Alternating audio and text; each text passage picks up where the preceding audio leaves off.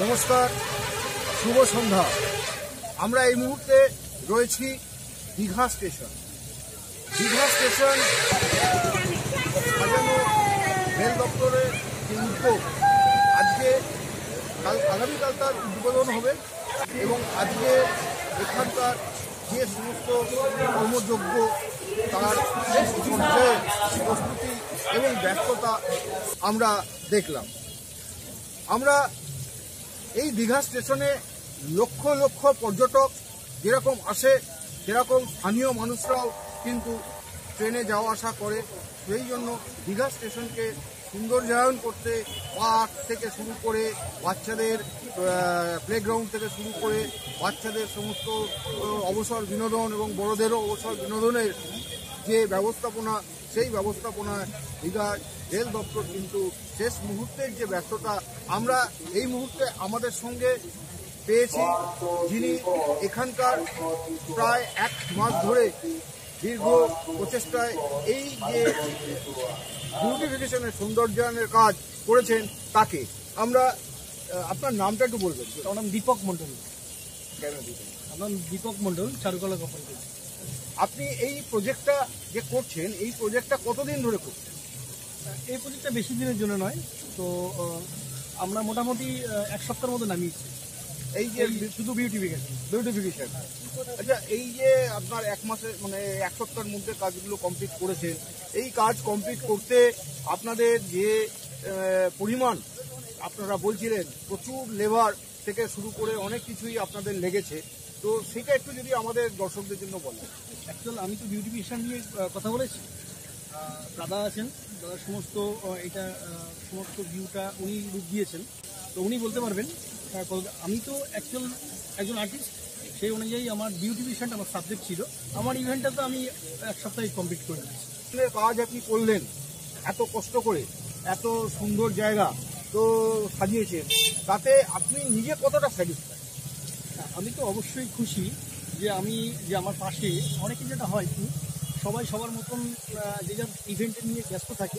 তো আমার সঙ্গে আমার যে কন্ট্রাক্টর বলো আর দাদা অনুপদা এবং হিরক যেভাবে আমাকে সহানুভূতি দিয়েছেন এবং সব দিক দিয়ে আমি খুবই খুবই হ্যাপি এবং আমার টিম চারুকলা কোম্পানির যে ছেলেরা আমার সঙ্গে কাজ করে, তারা সবাই খুশি কারণ যেভাবে আমাকে, আমাদেরকে সহযোগিতা করেছে এবং আমরা কাজটাকে সার্থক করতে পেরেছি, এটাই আমার খুব খুশি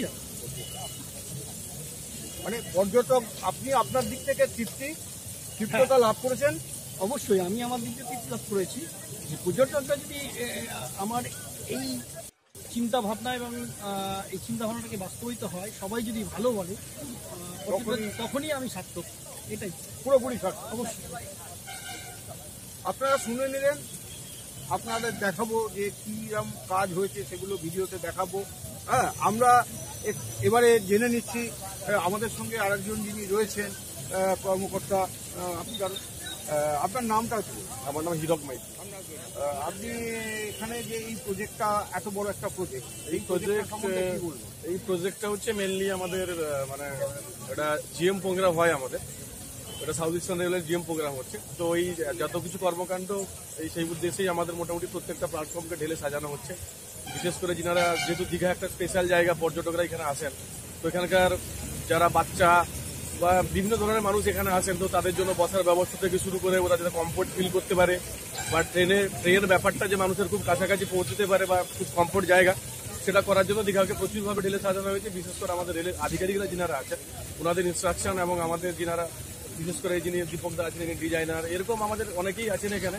যিনারা রাত দিন পরিশ্রম করে বিভিন্ন ধরনের কাজ মানে এখানে ইনফ্রাস্ট্রাকচার কাজ থেকে শুরু করে বিউটিফিকেশন থেকে শুরু করে পলিকার্বনেট বিভিন্ন ধরনের আইটেম আছে। তো প্রত্যেকের মানে অশেষ চেষ্টা বলব আমরা লাস্ট পঁচিশ সাতাশ দিন ধরে প্রায় সাড়ে তিনশো লেবার কাজ করছে দিন রাত করে শিফটিং ডিউটিতে ওনারা করছেন অবশ্য।